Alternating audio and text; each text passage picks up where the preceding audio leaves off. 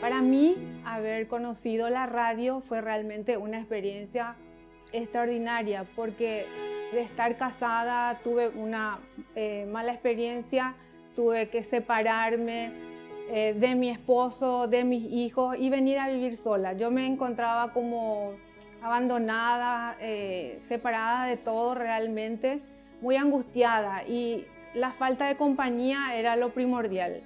Hasta que así siempre buscando la radio, siempre palabras, porque siempre fui de de mucha fe, pero no encontraba algo que podía llenar mi vida. Y así fue que una, una mañana que me puse a orar, le pedí al Señor para que por favor me oriente. Y busqué una emisora, buscaba yo una música que me dé paz. Y así fue que escuché una dulce voz y que daba, daba mensajes y decía para que podamos comunicarnos con la radio, pasó el número. Y entonces yo me comuniqué y empecé a compartir ese día a día con la radio y a dar un poquito de mis testimonios, también pedir oraciones por mí y por mi familia y volví a tener esa esperanza, cosa que el ser humano, una persona ya me decía, vos estás buscando algo imposible, pero con, a través de los mensajes que escuchaba todos los días, eh, volví a tener esa esperanza, porque Dios es el Dios todopoderoso, Jehová, es el Dios de lo imposible. Entonces es como que se me reavivó esa esperanza de que, de que sí va a ocurrir ese sueño tan anhelado que tengo de volver a restaurar mi familia. Eh, como toda madre, como toda esposa, ¿verdad? Es el anhelo que uno tiene más cuando uno ama, ¿verdad? Como seres humanos tenemos muchos errores, y yo sé de lo que es pasar por una depresión, estados muy depresivos, eh, muy fuertes y hoy día estoy con mucho más fuerza porque a diario em, me enriquezco con la palabra, he hecho cursos también a través de la radio por Zoom que es como que Dios me bendijo porque vino hasta mi casa, ¿verdad? Con este tema de la pandemia más aún eh, yo he encontrado en mi propia casa amigos con quienes compartir la palabra de Dios, con quienes me dan esa esperanza, porque la palabra la, eh, me enseñó mucho.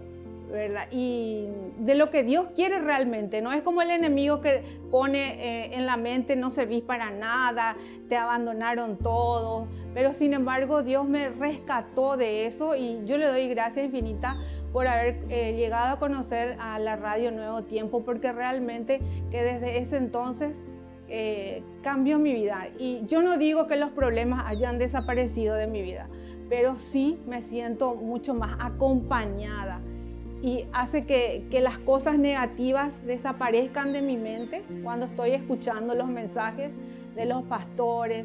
Eh, a rato oramos porque casi cada media hora, una hora hay momentos de oración y eso me fortifica y eso me levanta eh, todos los días.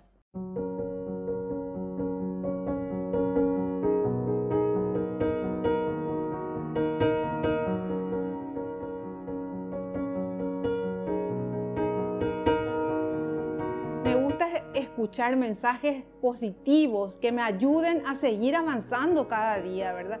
Y por eso es que más me prendo de la radio y no, no cambio de emisora, porque es ahí donde escucho, me, eh, me alimento, como dije, de la palabra y entonces puedo seguir este día a día, porque no es fácil. Uno, como dije, uno no deja de tener problemas, sino que lo que me hace es fuerte y saber que Dios me ama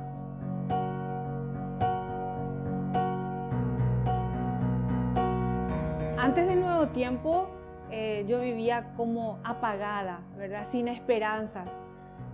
Pero después de eh, conocer a la radio Nuevo Tiempo, empezó a encenderse nuevamente en mí esa esperanza, esa llamita que va creciendo cada día, porque realmente el día a día es importante.